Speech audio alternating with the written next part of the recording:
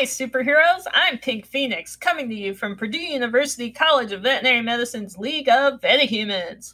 Today, our special guest on VetaHumanz Live is Silver Lion.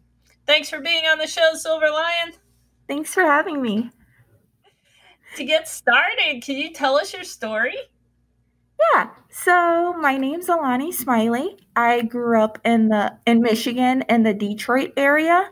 I attended college at Michigan State University, and then I am now currently at vet school at Purdue University, and I am a second year student. Okay, Silver Lion, how did you pick your superhero name? Well, so my favorite color is silver, so that was a must.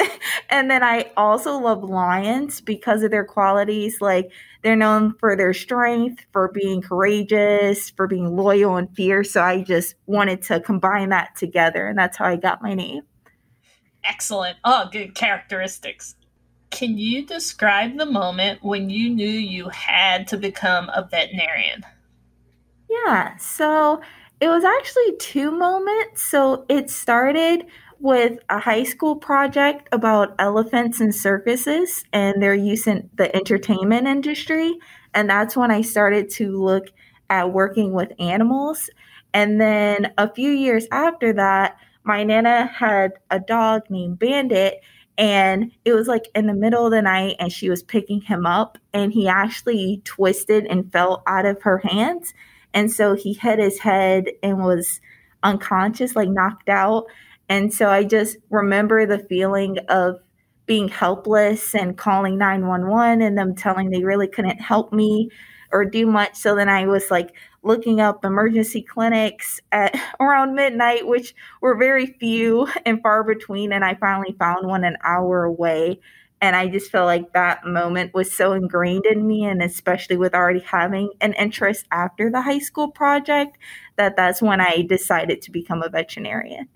Wow, very powerful story there. All right, next question. What did you think veterinary college would be like, and what's it really like? so, oh, vet school. So, I thought that vet school was going to be exams every single week, very stressful, a lot of crying, and I mean, working with animals, but I definitely heard about all the exams that I would need to do.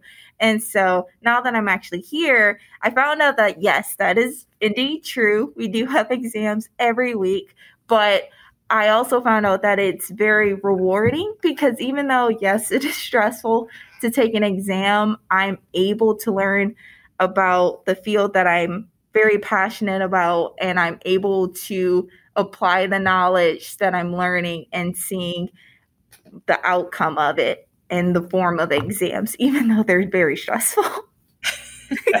That's great. so, before you started vet college, what were you most anxious about? Oh, so I was most anxious about the exams because I wasn't really a good test taker going through undergrad, mostly because I didn't really study, but I just always remember like I felt like I knew a lot and then I would get to the exam and I would just blank out. So I was very worried about that in vet school.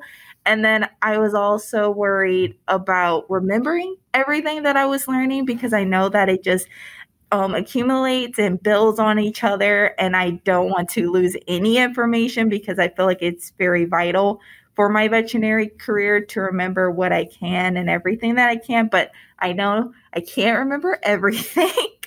and then I also was very worried about just belonging in veterinary school because I didn't come with a lot of animal experience compared to my peers. So I was very worried about that. So, how did you overcome those anxieties? Well, for the studying, I attempted different studying techniques that I never really used before and really reaching out to my professors when I started to struggle or needed clarification on certain concepts and then just accepting that I can't learn everything. I can just do what I can and try my best. And then for feeling like I belong, I had to talk to my mentors here at the school and talking to my family and friends more and just learning to move past my imposter syndrome that I was feeling and knowing that I was selected for a reason to be here. Absolutely, and we are so glad you are here. If you were talking to a friend, how would you recommend that they prepare for vet college? I would tell them that if they know, like, in the beginning what kind of track that they want to go in and they seem very passionate about, even though it can change, that they should research the schools that have a focus in that specific track. But more so, my biggest advice would be to take courses that will better prepare you. So, like, I wish I was able to take a medical terminology course, a nutrition course, even like your math courses are I'm finding out very important while you're here. So I would definitely say to look more into classes to better to better prepare you and prep you for the courses that you'll be taking at veterinary school. All good advice. hey, I want to know about your favorite class. What is it and why do you love it so much? Okay, so I love physiology. Like that will always be my favorite course because I love learning how things work. And I feel like that comes from my engineering background that I have. Like I just I just want to know why things work, how they work, and like what can go wrong.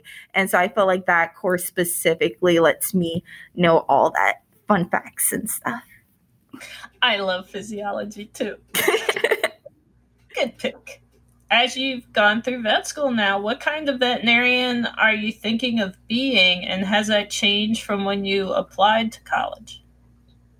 So, I am currently thinking that I want to be a zoo veterinarian that hopefully can travel the world and go to other countries and everything. And that hasn't changed from when I applied to veterinary school. I am finding out that I'm developing an interest specifically in dentistry and I want to see where that goes. But overall, I am still pursuing zoo vet med. That'd be wonderful if you could combine the two. Yeah, that would be really cool. Do you have any questions for the zoo vets out there listening? Yes, I do. So, how can I make myself specifically as a second year vet student moving into my third year more competitive for future externships and internships that I need to do after um, receiving my DVM degree. Also, what can I do to gain experience if I'm not able to land such opportunities in zoos since it's such a competitive field so that I can also make myself more competitive is really what I feel like I need to need to find more information in regards to zoo vet med.